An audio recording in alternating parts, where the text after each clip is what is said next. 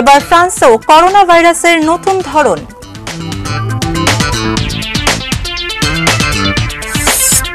যুক্তরাষ্ট্রকে ছাড়িয়ে বিশ্বের বৃহত্তম অর্থনীতির দেশ হতে যাচ্ছে চীন। এবং উগান্ডার লেক এলবার্টে নৌকাডুবিতে ২৬ জনের প্রাণহানি।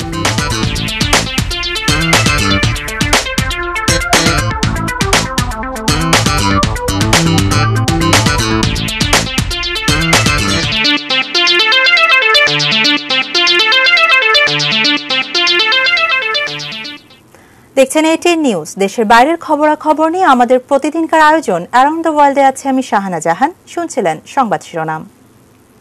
এবারে পুরো খবর। ফ্রান্সেও পাওয়া গেল করোনা ভাইরাসের নতুন একটি ধরন। এর আগে যুক্তরাজ্যে পাওয়া করোনা ভাইরাসের নতুন ধরনের সঙ্গে এটির মিল রয়েছে। গত উনিশ ডিসেম্বর যুক্তরাজ্য থেকে আসা একজনকে একুশ ডিসেম্বর ফ্রান্সের হাসপাতালে পরীক্ষার পর দেশটির স্বাস্থ্য মন্ত্রণালয় এ ব্যাপারে নিশ্চিত হয়েছে। ওই ব্যক্তি ফ্রান্সের নাগরিক। তার দেহে কোনো লক্ষণ নেই। বর্তমানে তিনি নিজ বাড়িতে কোয়ারেন্টিনে আছেন এবং পুরোপুরি ঠিক আছেন বলে ফ্রান্সের স্বাস্থ্য মন্ত্রণালয় জানিয়েছে। যুক্তরাজ্যে করোনা ভাইরাসের নতুন এই ধরনের কারণে বেশ কিছু দেশে ভ্রমণের ক্ষেত্রে বাধা হয়ে দাঁড়িয়েছে। তবে বুধবার ভ্রমণ নিষেধাজ্ঞা শেষ হলেও সীমান্ত বন্ধ রেখেছে ফ্রান্স। ভ্রমণের আগে পরীক্ষায় করোনা নেগেটিভ হওয়ার শর্ত দেওয়া হয়েছে। এর আগে যুক্তরাজ্য থেকে আসা পাঁচজনের দেহে এই নতুন ধরনের করোনার সংক্রমণের কথা জানিয়েছিল জাপান। এছাড়া নতুন ধরনের করোনা ভাইরাস পাওয়ার কথা আগেই জানিয়েছিল ডেনমার্ক, অস্ট্রেলিয়া এবং নেদারল্যান্ড।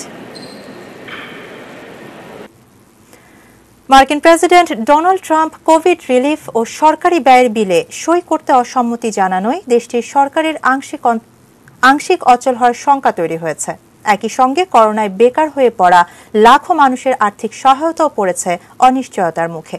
প্রেসিডেন্ট সই না করায় দুই দশমিক তিন ট্রিলিয়ন ডলারের বিলটি আইনে পরিণত হচ্ছে না। এতে করে আজ থেকে এক কোটি চল্লিশ লাখ মার্কিনী বেকার ভাতা থেকে বঞ্চিত হবেন। আর মঙ্গলবার থেকে অর্থের অভাবে আংশিকভাবে অচল হয়ে পড়বে মার্কিন সরকার। দু হাজার আঠারো সালের ডিসেম্বরে প্রেসিডেন্ট ডোনাল্ড ট্রাম্প ব্যয় বিলে সই করতে অস্বীকৃতি জানালে পঁয়ত্রিশ দিনের জন্য সরকার অচল হয়ে যায়।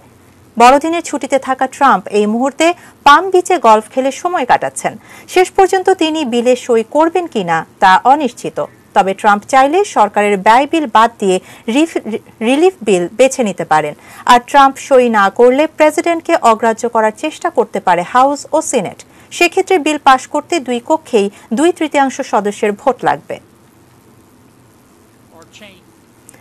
যুক্তরাষ্ট্রকে টপকে দু হাজার আঠাশ সালে বিশ্বের বৃহত্তম অর্থনীতির দেশে পরিণত হতে যাচ্ছে চীন।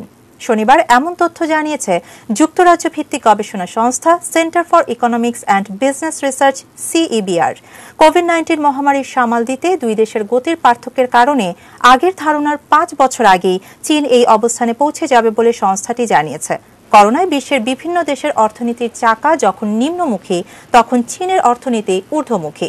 তাই দুহাজার একুশ থেকে পঁচিশ পর্যন্ত বার্ষিক গড় প্রবৃদ্ধি পাঁচ দশমিক সাত শতাংশ অর্জনে সক্ষম হবে চীন।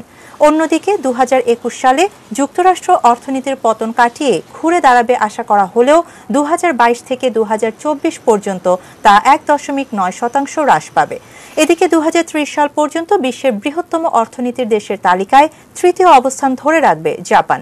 চার নম্বর অবস্থান থেকে জার্মানিকে পাঁচ নম্বরে নামিয়ে তৃতীয় স্থান দখল করবে ভারত। সিইবিআর এর মতে দু হাজার চব্বিশ সালে বিশ্বের পঞ্চম বৃহত্তম অর্থনীতির দেশ যুক্তরাজ্য নেমে আসবে ছয় নম্বরে।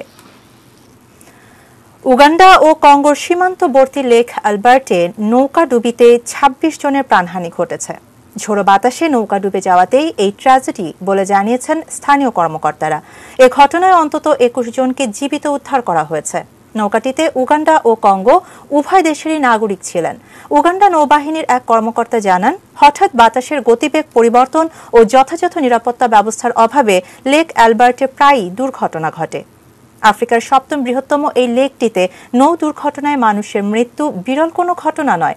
দু সালে লেক আলবার্টে ধারণ ক্ষমতার বেশি যাত্রী নিয়ে একটি লঞ্চ ডুবে গেলে আড়াইশোর বেশি মানুষ মারা যান। জার্মানির রাজধানী বার্লিনে আজ ভোরে গোলাগুলিতে অন্তত চারজন গুরুতর আহত হয়েছেন। পুলিশের এক মুখপাত্র জানান, বার্লিনের কেউসবার্গ অঞ্চলে এই গোলাগুলিতে বেশ কয়েকজন জড়িত ছিল। হামলায় আহতদের হাসপাতালে ভর্তি করা হয়েছে।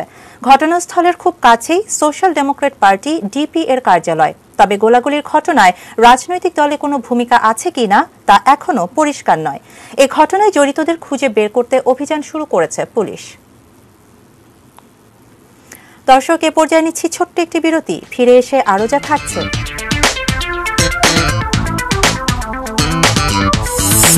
ইসরায়েলের সাথে সুসম্পর্ক চায় তুরস্ক।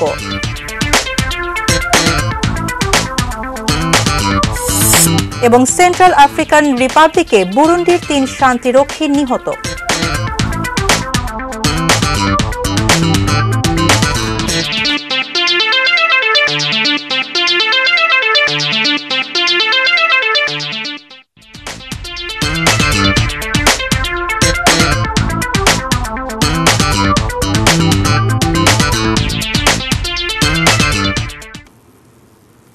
বিরতির পর আবারও আমন্ত্রণ অ্যারাউন্ড দ্য ওয়ার্ল্ডে সাথে থাকার জন্য ধন্যবাদ। ইসরায়েলের সঙ্গে আরও সুসম্পর্ক চান বলে জানিয়েছেন তুরস্কের প্রেসিডেন্ট রিসেপ তাইয়েব এরদোয়ান। গতকাল ইস্তাম্বুলে জুমা নামাজের পর তিনি নিজেই গণমাধ্যমকে এ কথা জানান। এরদোয়ান বলেন, সুসম্পর্ক প্রতিষ্ঠার লক্ষ্যে দুদেশের গোয়েন্দা পর্যায়ে আলোচনা চলছে। এ সময় ফিলিস্তিন বিষয়ে ইসরায়েলের নীতি গ্রহণযোগ্য নয় বলেও মন্তব্য করেন তিনি। বলেন, ইসরায়েলের শীর্ষ নেতাদের সঙ্গে তুরস্কের সমস্যা রয়েছে। তা না হলে দুদেশের সম্পর্ক অন্যরকম হতে পারত। উনিশশো উনপঞ্চাশ সালে প্রথম মুসলিম দেশ হিসেবে তুরস্ক ইসরায়েলকে স্বীকৃতি দেয়। দীর্ঘদিন দুদেশের মধ্যে শক্তিশালী বাণিজ্য সম্পর্ক থাকার পরও সাম্প্রতিক বছরগুলোতে তিক্ত বিরোধ দেখা দিয়েছে। পশ্চিম তীরে ইসরায়েলি দখলদারিত্ব এবং ফিলিস্তিনিদের সঙ্গে আচরণের নিন্দা জানিয়ে এসেছে তুরস্ক। দু হাজার আঠারো সালে দুদেশই অপর দেশ থেকে রাষ্ট্রদূত প্রত্যাহার করে নেয়। সেন্ট্রাল আফ্রিকান রিপাবলিকানে অজ্ঞাত সশস্ত্র যোদ্ধাদের হামলায় বুরুন্ডির তিন শান্তিরক্ষী নিহত হয়েছে। এতে আহত হয়েছে আরও দুজন। এক বিবৃতিতে জাতিসংঘ জানায়, মধ্য কেমো অঞ্চলের দেকোয়া এবং দক্ষিণ এমবেমো এলাকার বাকুমায় আলাদাভাবে জাতিসংঘ শান্তিরক্ষীর পাশাপাশি মধ্য আফ্রিকা প্রজাতন্ত্রের সেনাবাহিনীর উপর হামলার ঘটনা ঘটে। নিহত শান্তিরক্ষীরা বুরুন্ডির সামরিক বাহিনীর সদস্য। হামলার কয়েক ঘণ্টা পরেই দেশটির সরকারের বিরুদ্ধে সংঘাতে জড়িত বিদ্রোহীদের জোট একতরফা যুদ্ধবিরতি ঘোষণা করে। একই সঙ্গে রোববার দেশটিতে অনুষ্ঠিত হতে যাওয়া সাধারণ নির্বাচনে স্থগিতের দাবি জানায় তারা। রাজনৈতিক কারণে মমতা বন্দ্যোপাধ্যায় কৃষকদের জন্য কেন্দ্রীয় সরকারের আর্থিক সহায়তার তহবিল আটকে দিচ্ছেন বলে অভিযোগ করেছেন ভারতের প্রধানমন্ত্রী নরেন্দ্র মোদী। তার দাবি, এর মাধ্যমে পশ্চিমবঙ্গের সত্তর লাখ কৃষকের সহায়তা তহবিল স্থবির করে দিচ্ছে মমতা সরকার। মোদী অভিযোগ করেন, মমতার মতাদর্শ রাজ্যটিকে ধ্বংস করে দিচ্ছে। তার পনেরো বছর আগের বক্তব্য শুনলেই এটি বোঝা যায়। মমতার দল কৃষকদের লাভের কথা না ভেবে বরং কৃষকদের নামে দিল্লির নাগরিকদের হয়রানি আর দেশের অর্থনীতি ধ্বংসে যুক্ত রয়েছে। শুক্রবার পিএম কৃষণ প্রকল্পের আওতায় নয় কোটি কৃষকের জন্য আঠারো হাজার কোটি রুপি অর্থ সহায়তা অনুমোদন করেন মোদী।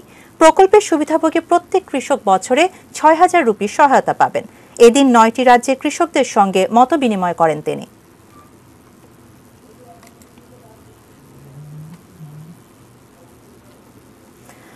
যুক্তরাষ্ট্রের টেনেসি রাজ্যের ন্যাশভিল শহরে বড়দিনের সকালে বড় ধরনের বিস্ফোরণের ঘটনায় অন্তত তিনজন আহত হয়েছেন। এতে বেশ কিছু বাড়িঘর ধ্বংস হয়েছে এবং কয়েকটি বাড়ি পুড়ে গেছে।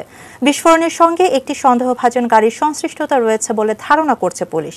স্থানীয় দমকল বিভাগ জানায়, স্থানীয় সময় ভোর সাড়ে ছটা নাগাদ বিস্ফোরণের পর ঘটনাস্থল থেকে তিনজনকে হাসপাতালে নেওয়া হয়। তবে তাদের অবস্থা গুরুতর নয়। বিস্ফোরণের ঘটনাটি তদন্ত করছে একাধিক সংস্থা। এতে কেন্দ্রীয় ও স্থানীয় সংস্থাও যুক্ত হয়েছে। তদন্তের স্বার্থে এলাকাটি বন্ধ করে দিয়েছে পুলিশ। নাশভিলের মেয়র জন কুপার বলেছেন, বিস্ফোরণে ক্ষতিগ্রস্ত বেশ কয়েকটি বাড়ির জানালা উড়ে গেছে। কয়েকটি ভবন খালি করা হয়েছে।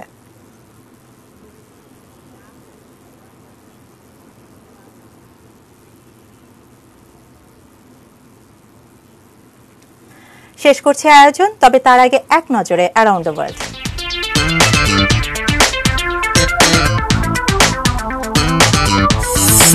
এবার ফ্রান্সও করোনা ভাইরাসের নতুন ধরন।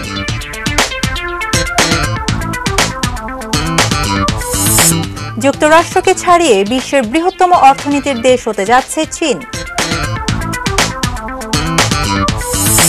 উগান্ডার লেক অ্যালবার্টের নৌকা ডুবিতে ২৬ জনের প্রাণহানি। ইসরায়েলের সাথে সুসম্পর্ক চায় তুরস্ক।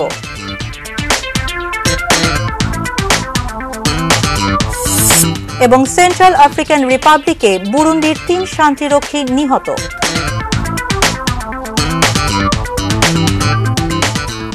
এই ছিল অ্যারাউন্ড দ্য ওয়ার্ল্ড কাল আবারও দেখা হবে একই সময়। সে পর্যন্ত সঙ্গে থাকুন, দেখতে থাকুন এটিএন নিউজ এটিএন নিউজের ব্রেকিং নিউজ মোবাইল পেতে টাইপ করুন S T A R T star space N এবং পাঠিয়ে দিন ফাইভ নাইন ফাইভ নাইন নম্বরে। ধন্যবাদ।